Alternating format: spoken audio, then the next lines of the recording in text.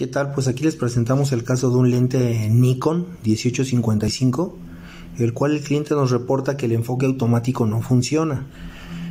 El enfoque manual sí, pero al mover el switch enfoque automático, la cámara ya no lo detecta y no enfoca.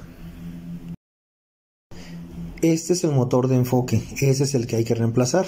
Este motor viene con toda la unidad de, de AF. Tenemos que desmontarla y quitar ese motor.